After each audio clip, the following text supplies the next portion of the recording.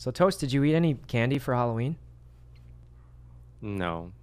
Oh, do you you like candy? Mm, I like hard candy. The ones that you suck on for a long time. Oh, oh, oh, oh um, Yeah?